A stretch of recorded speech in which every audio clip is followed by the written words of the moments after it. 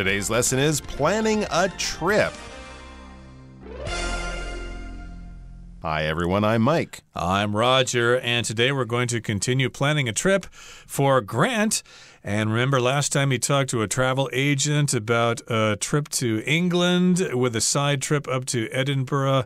And of course, he would probably have to have made his own arrangements when traveling to Scotland.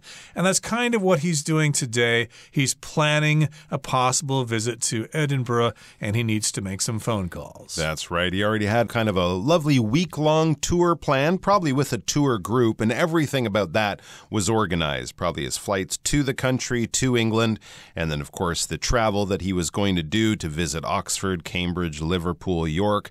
They probably had hotels arranged, bus transport transportation, maybe even the places they're going to eat.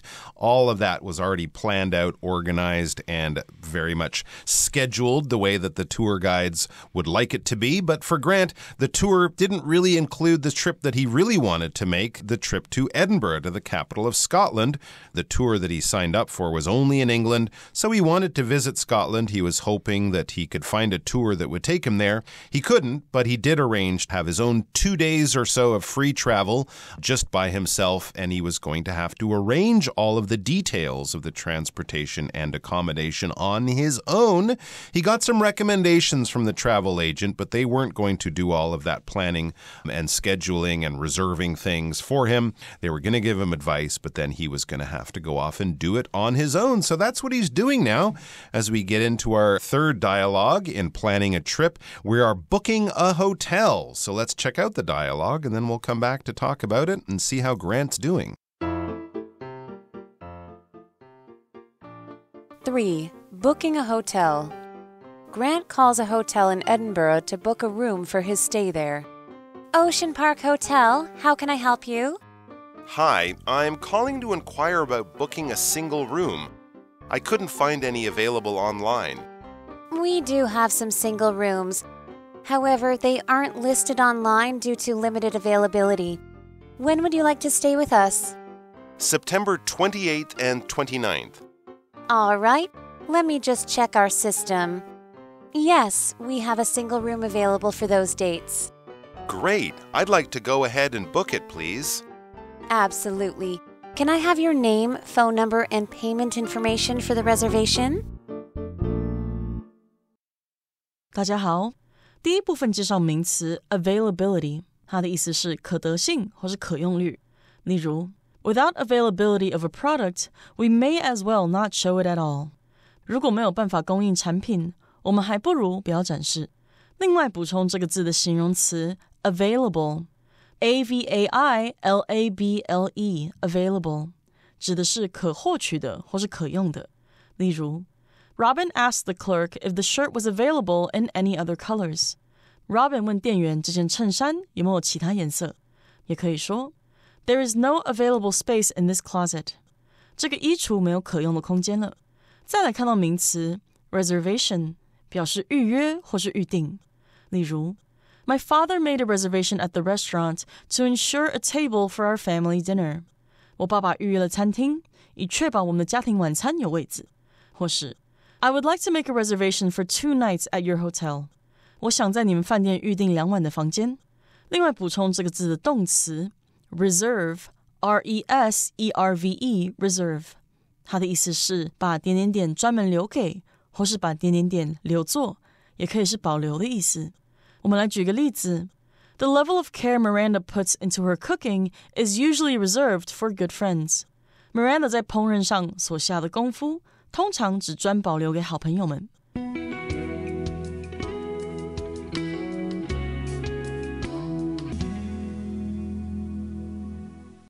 Okay, so again in part three, we are booking a hotel. Okay, we're getting a reservation at a hotel so that when we arrive there, we'll know we have a place to stay and we can relax and enjoy our time in that particular place. And Grant calls a hotel in Edinburgh to book a room for his stay there. So, again, he's going to Edinburgh in Scotland. That's probably the top destination for people when they go to Scotland. There are other places to go. I suppose you could take a day trip from there over to Glasgow or something, or in this particular case, they're going to go on a tour of Loch Ness, which we'll talk about in just a second. But here, the clerk answers the phone when Grant calls that hotel. And the clerk greets the caller, Ocean Park Hotel. How can I help you? I assume the clerk would be speaking in a Scottish accent, but Hmm. I don't know how to do it, so we'll have to rely on this good old American one. Yeah, possibly. I don't, last time I was in the UK, there were a lot of young Australians working there Really? and stuff in tourism and hospitality. So you never know. But yes, that's a good bet. Ocean Park Hotel. How can I help you?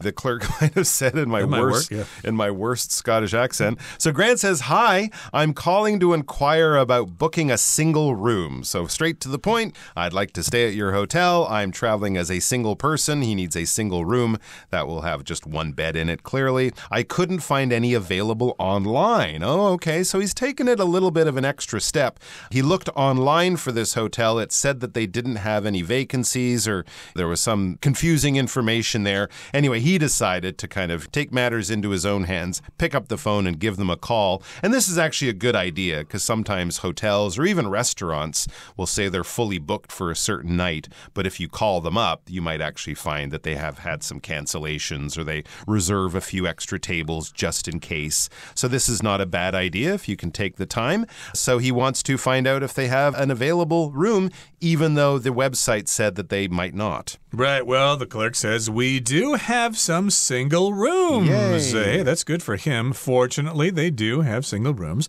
However, they aren't listed online due to limited availability. Ah. When would you like to stay with us? So there you go. You're right there, Mike. Sometimes you can't get that information online.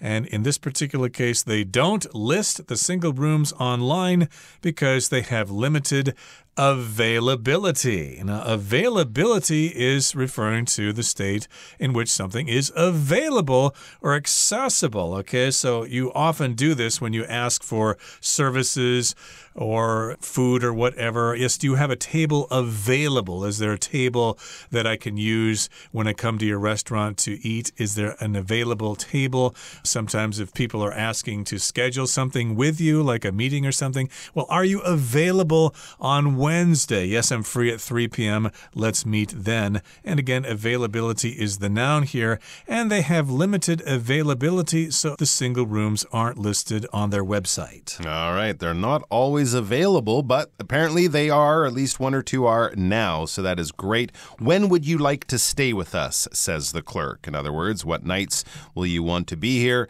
and staying in our hotel? So Grant tells them September 28th and 29th. So that would be two nights. He'll check in on the 28th and then he'll check out on the 30th, of course, but he'll be sleeping there over the night of the 28th and the 29th. So a two night stay, but three days, or basically two days, one and two half days on either end, which time he'll be able to use that room. The clerk says, All right, so okay, the 28th and 29th, those are the nights you want to stay. All right, let me just check our system. And then we hear, you hear lots of tapping on a computer. Yes, mm-hmm. we have a single room available for those dates. So after the tapping on the computer, or maybe just the clicking of the mouse, they come back with some good news that there is availability. The single rooms that Grant was interested in, at least one of them is free, so he can take it. He can stay there in that hotel on the dates that he wants. Yeah, he might also ask about the nature of the room. Maybe he wants a room that faces the ocean or something like that. Uh, you could probably do some research online to figure out what kinds of rooms are preferable and which ones aren't. But in any case, here it looks like he's doing pretty well here. He's got a couple of rooms reserved for the dates of September 28th and 29th. And I guess he's going to have a really great Teacher's Day in Scotland there. and he says, Great, I'd like to go ahead and book it, please. So, yes, you have those rooms available, or at least that room available. So, yes, I will go ahead. I will do it. I will book that room with you. And maybe I need to give you some information, which the clerk asks for. The uh, clerk says, Absolutely, 100%. You can go ahead and book this room. Can I have your name, phone number, and payment information for the reservation? And that's what he's doing here. He's making a reservation for this room at this hotel. That means nobody else is going to get the room. It's going to be his room when he gets there. It's guaranteed. Absolutely. And yes, when we use absolutely in this way, it is an adverb, of course, but we're not saying like I am absolutely full, using it as an adverb adjective in that kind of situation. I'm absolutely exhausted. I worked for 14 hours today and I only slept three hours last night. You can use it in that way to say kind of like 100% totally. But here we're just saying absolutely as a very strong yes. Definitely. No problem. Will you be at my birthday party? It won't be the same if you're not there. Oh, absolutely, I'll be there. I already told everyone I'm going to your party. So it's just a very strong yes when you use it as a single word standing on its own in that way as an answer to a question. Absolutely totally no problem. Can I have your name, phone number, and payment information for the reservation? The reservation, that thing that you get or you make or you want when you want to make sure that something that could be busy and popular in the future will have enough space for you. So you don't want to go there on a Saturday night or on a busy weekend and be disappointed. So you call them weeks or months or possibly even years beforehand to say, hey, I would like to be there at a certain time and do do a certain thing. Can you write it down so that I have a place when I show up in the future? And they say, Yes, give us your information, your phone number, maybe a credit card number to charge you in case you don't show up, things like that. But yes, if you're planning for things and don't want to be disappointed in the future, you should make a reservation now. That way, you're sort of securing and keeping your place safe so that you will be able to do it when the time comes. So there you go. He's going to pass on the information, make that reservation. And then when he shows up in a month or two in September in Edinburgh at the Ocean Park Hotel, mm. they will say, Hey, it's Grant. Welcome, Grant. We've been waiting for you. Your room is just over here. And that's all the time we have today. But that's not it for Grant's holiday. He still has to plan all the fun things he's going to do when he is in Scotland. So come back and join us for all of that in our fourth dialogue about planning a trip. 4. Asking about package deals. Grant continues the call by asking the clerk about the hotel's package deals. I understand that you also offer some package deals. Could you tell me about those? Yes, we offer discounted tickets for attractions like Edinburgh Castle and the National Museum of Scotland. For outdoor enthusiasts, we recommend our popular Loch Ness Day Tour. It includes a breathtaking journey through the Scottish Highlands and a boat cruise on Loch Ness. That sounds amazing. I'd like to register for the Loch Ness package, please. Wonderful choice. And what date would you like to book the tour for? September 29th. Perfect. You're all set for the Loch Ness Day Tour on September 29th. 第二部分看到形容词 breathtaking， 它的意思是美到令人惊艳或是赞叹的。例如，The apartment offered a breathtaking view of the coast from the balcony。那间公寓从阳台上可以看到令人赞叹的海岸美景。也可以说，Jack took in the breathtaking view from the mountain top。Jack 在山顶上观赏到了令人叹为观止的景色。另外来补充这个字的同义形容词 inspiring。 I N S P I R I N G inspiring 指的是鼓舞人心的，可以这么说：The politician encouraged her followers with an inspiring speech。这位政治人物以一段激励的演说鼓励其支持者。再来介绍名词 cruise，表示乘船游览，也可以是航游的意思。我们可以说：The couple went on a one-week cruise down the Nile River in Egypt。 这对夫妇在埃及的尼罗河上进行了为期一周的航游。又或者说，Mary and Paul went on a cruise after they got married。Mary 和 Paul 结婚后去乘船游览。最后看到动词 register，表示登记或是注册。我们可以说，You can register your name online。你可以在网络上登记你的名字。也可以说，Brad registered a patent for his new invention。Brad 为自己的新发明 注册了专利。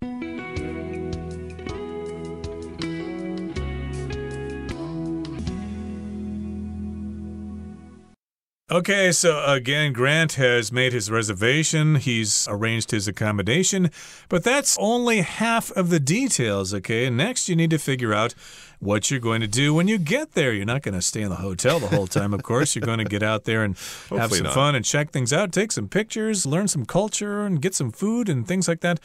So he continues the call by asking the clerk about the hotel's package deals. Hmm. That's a good idea. I remember traveling to various places in Asia here, to China or Thailand or whatever, and it's always a good idea to maybe arrange a little tour through the hotel because they take care of all those little details for you, the transportation and things like that. If you try to do that yourself, it can be kind of troublesome trying to figure out how to get around. So, yes, he's asking about their package deals. And he hmm. says, Well, I understand that you also offer some package deals. Could you tell me about those? So, yes, you not only offer accommodation at your hotel, but you have some package deals in which I can participate. I can join a tour to some of the local tourist sites or some of the points of interest, and I don't need to arrange those things myself. Interesting. So, a one day tour, and they might take you to Taipei 101 in the morning, the Gugong Palace Museum in the afternoon, and then a night market in the evening.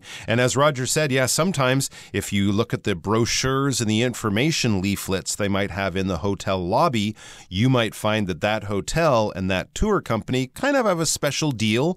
If you book through the hotel, you can get a little bit of a discount that you might not get if you just find the tour company or the package deal online. So, this mm. is a good thing to ask about before you get to the hotel or when you get there. Check out the brochures and the information in the lobby. They might have activities you want to do, and by booking it through the hotel, you might save yourself a little bit of money. So, the clerk says, Yes, we do have package deals. We offer discounted tickets for attractions like Edinburgh Castle and the National Museum of Scotland. So, that's great. You can buy the tickets to these popular places, but instead of just going to the popular place or having to book it yourself online, you can do it through the hotel and you can save yourself some money. Discounted tickets means lower than normal price tickets for popular things like Edinburgh Castle and National Museum of Scotland. I do remember when I went to Edinburgh Castle with my wife, we bought our tickets the day before, a few days early online, and we breezed past a long line of 50 or 60 people there early in the mm. morning as the castle opened. They were all lining up to get their tickets, so it is a good idea, especially with Edinburgh Castle or the Tower of London in London there to buy your tickets early. Avoid those lines because the lines form right when they open their doors early in the morning. So you can see the castle and the National Museum of Scotland. Those, of course, would be quite close together. You could easily do those in one day. And then if you want to get out of Edinburgh and see the beautiful Scottish countryside, ooh, do they have a place for you to go? Right, of course. We travel for different reasons. You might want to have a cultural aspect of mm-hmm. your trip by going to museums and places like that, but some people enjoy the outdoors. So, for outdoor enthusiasts, we recommend our popular Loch Ness Day Tour. So, an enthusiast is somebody who really enjoys something, they're really interested in that thing. You might be a cycling enthusiast. You've got yourself a nice bike, you go for bike rides with your buddies every weekend.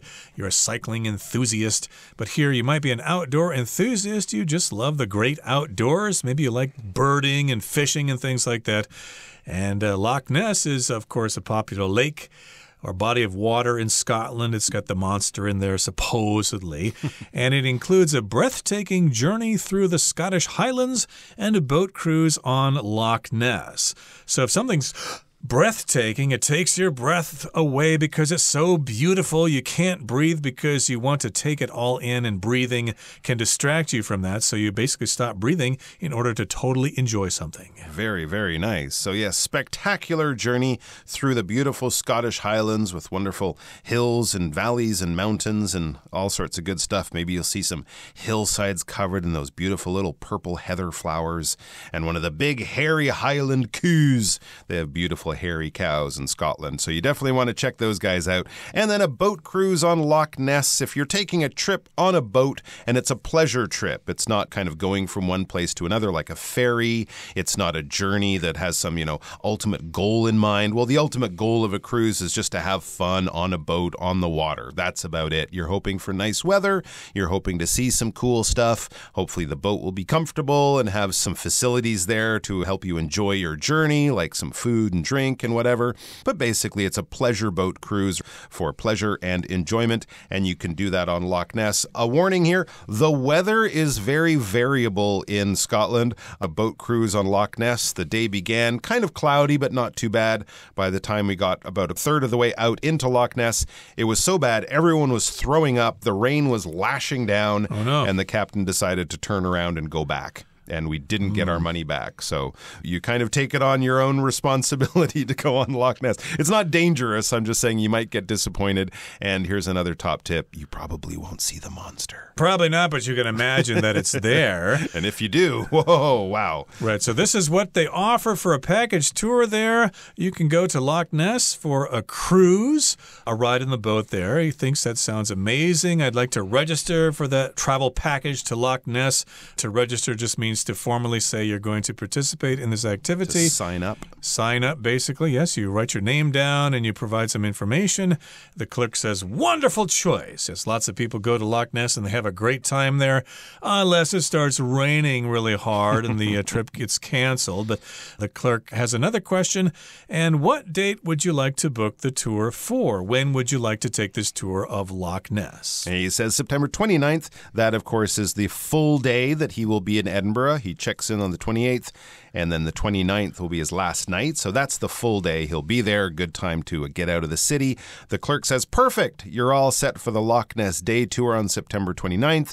And he's also all set, I'm sure, for his stay at the hotel from the 28th to the 30th over two nights. So sounds like Grant is going to have a good little solo trip there up to Edinburgh. Yep, in Scotland, and hopefully he'll have the chance to hear the sound of a bagpipe. Mm-hmm. Maybe match that with some haggis for dinner. There you go. There's a lot of wonderful things to check out in good old Scotland. Okay, we're at the end of our lesson for today. It's time now to listen to Hanny, who I don't think has ever been to Scotland.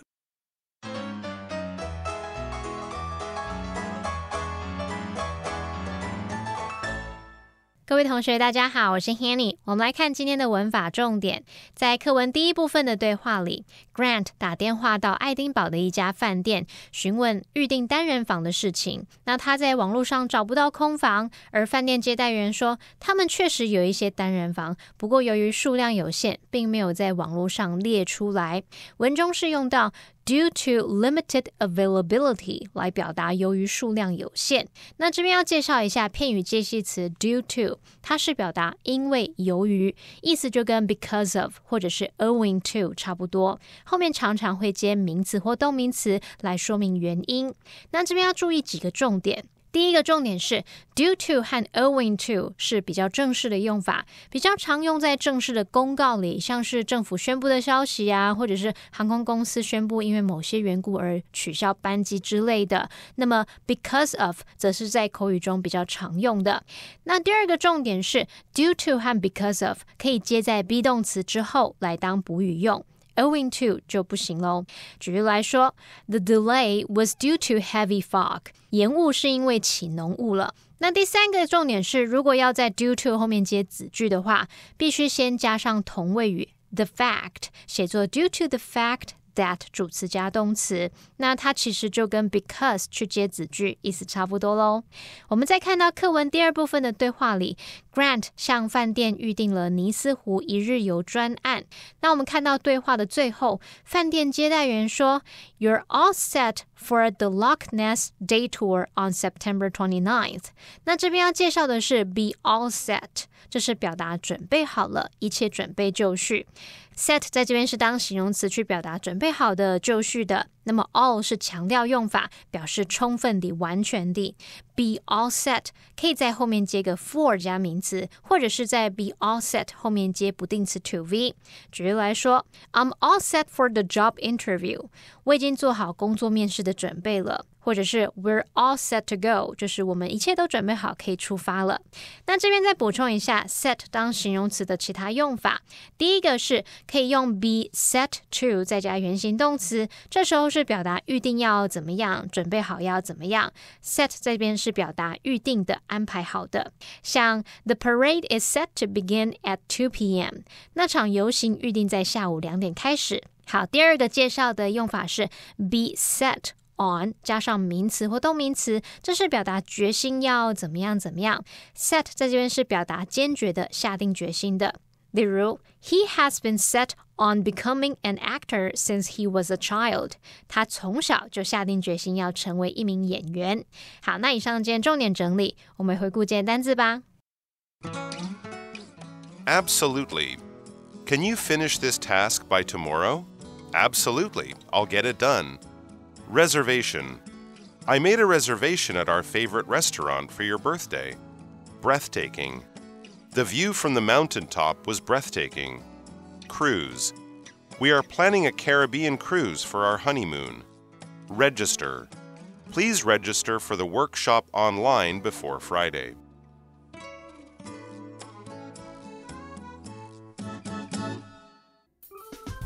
Well, that brings us to the end of another edition of our program, and please make sure you join us again next time. From all of us here, I am Mike. I am Roger. See you next time.